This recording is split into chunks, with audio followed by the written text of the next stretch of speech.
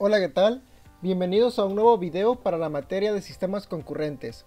Somos estudiantes del Tecnológico Nacional de México, Campus Veracruz, y en esta oportunidad se abordará un tema como en ningún otro se ha abordado. Les estaré hablando acerca de SGE y un error latente encontrado desde su instalación. Para empezar, ¿qué es SGE? SoundGrid Engine es un sistema de colas que permite gestionar el envío de trabajos, orden de ejecución y reglas de uso en un conjunto de CPUs o clusters. Permite la ejecución remota de trabajos tanto batch, procesos por lotes o interactivos y ver el estado actual de los trabajos enviados, así como modificarlos o borrarlos. Este ejercicio está realizado en una computadora portátil que cuenta con un procesador de 64 bits Intel Core i5, memoria RAM de 8 GB y 1 TB de disco duro. El sistema operativo anfitrión de esta máquina es Windows 10 Pro, sin embargo, el ejercicio no será sobre este sistema operativo.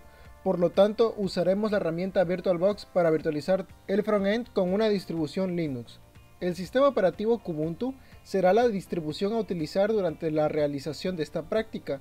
Kubuntu, al ser un derivado de Ubuntu, este posee características muy similares, además de que conserva los mismos repositorios. Cabe mencionar que a diferencia de las anteriores prácticas, en esta nos enfocaremos a un error encontrado durante la instalación de SGE, por lo que nos enfocaremos únicamente a explicar y documentar dicho error, dónde surge y cómo es que se comporta.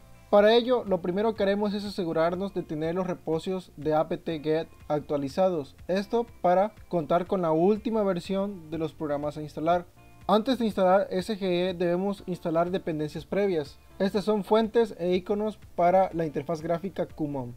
Posteriormente realizaremos la instalación de SGE por medio de sus comandos y haremos énfasis en el error que se presenta durante la instalación y el error de interfaz gráfica Canon Reach QMaster. Bien, entonces trataremos de realizar los pasos de instalación de SGE, para lo cual enfatizaremos en el error que está apareciendo durante su instalación y cómo es que afecta al funcionamiento del programa.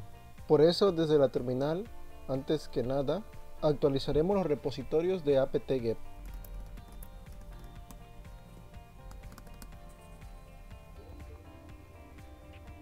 Bien, antes de instalar realmente lo que es SGE, vamos a insertar unos comandos los cuales nos van a resolver algunas dependencias necesarias para la instalación. Una de ellas es el paquete XFS, entonces vamos a instalar estas dependencias. Hay que asegurarse de tener activado el portapapeles compartido y comienza la instalación.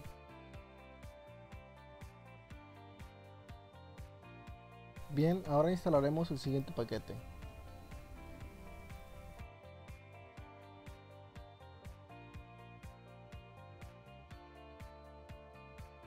Ahora instalamos el siguiente paquete.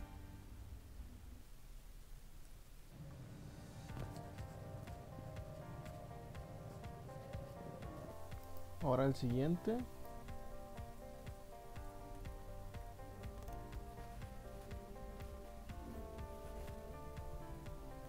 Ahora ejecutaremos estos comandos. Y el otro también. Bien, una vez satisfacidas las dependencias procederemos a instalar SGE por medio de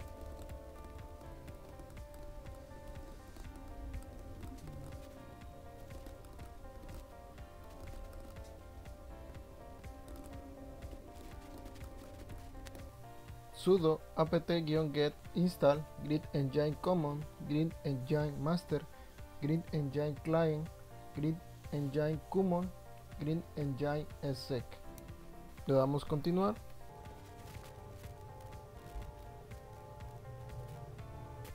Durante la instalación nos aparecerá esta pantalla donde nos pedirá un tipo genérico de configuración para el correo. En nuestro caso lo dejaremos sin configuración y daremos aceptar.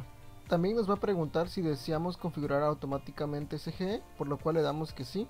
Aquí debemos de introducir el nombre de célula para nuestro clúster gestionado por SGE, el cual será cluster E6.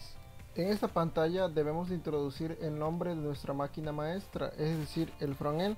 Este nombre debe de coincidir perfectamente con el nombre de la máquina, por lo cual yo introduzco frontend E6 y continuará la instalación.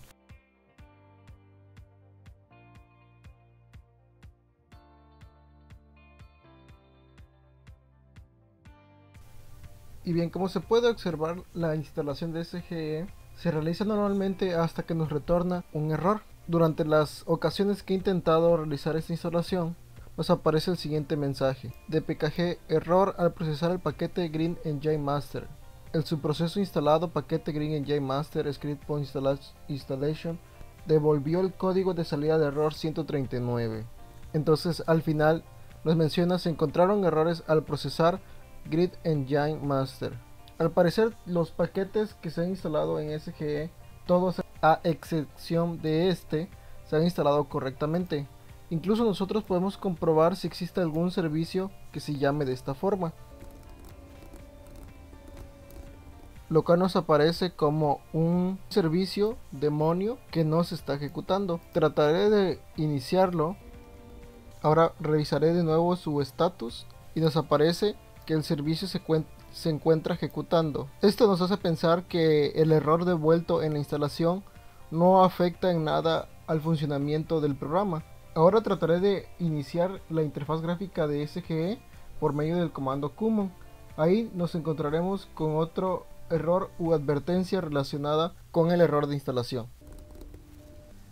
Esta es la interfaz del programa Common de administración de colas con SGE.